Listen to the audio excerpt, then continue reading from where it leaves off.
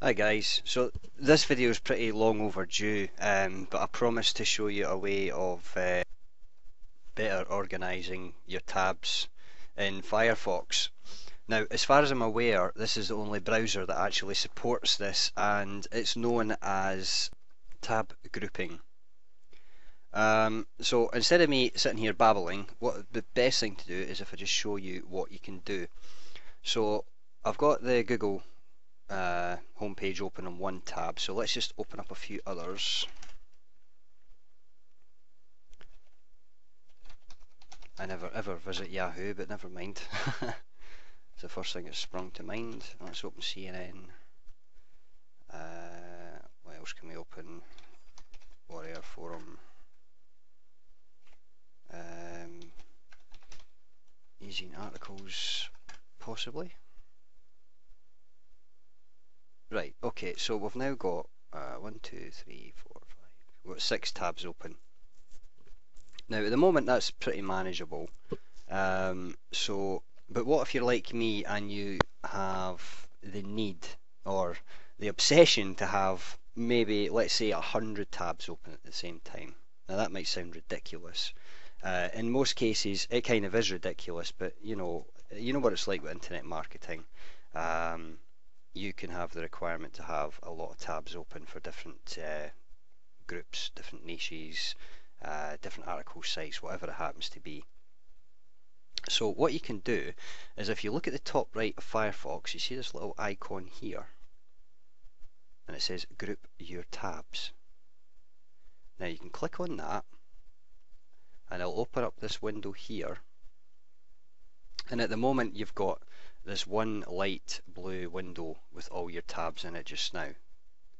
Now what you can do is if you go to the top you can name this tab, let's just call this general. But what you can do is if you drag one of your windows out into the blue area it creates a new tab group. So we can call this one Internet Marketing for example. So Warrior Forum would fall under that same category, so we can drag that one in here too. And as you can see, it shifts over to make room. Um, so that's pretty much it. Um, you can have as many of these as you want, so let's drag CNN out as well. We call this news. One more, and drag Google out, and just call it search engines for argument's sake. Put Yahoo across there as well. And I suppose the only one that's left now is EzineArticles, so we could call this one Article Directories. So I've obviously just done that on the fly. Um, what you can end up with is, now this is my work area, so I've got my social sites, my selling, member training, business, internet marketing training, all these kind of things are grouped together. So if I need to, uh, maybe I'm looking at my Aweber list and I want to switch over and have a look at, uh, let's say, a product review that I'm working on. I can switch into the product reviews box and then I've got all my tabs open for that area as well. So it keeps things better organised, obviously. Um, it's a lot faster to switch from one task to another when you've completed one task instead of having to open up a new tab and log back in and all that nonsense. It's all saved on your system under the, the tab groups.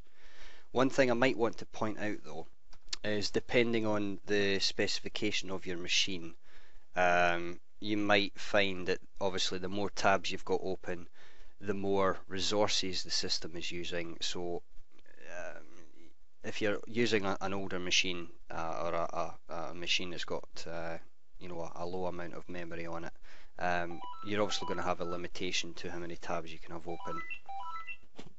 So there you go. A nice easy way to keep your tabs arranged uh, when you're having to work with a lot of uh, information within Firefox. Okay, cheers.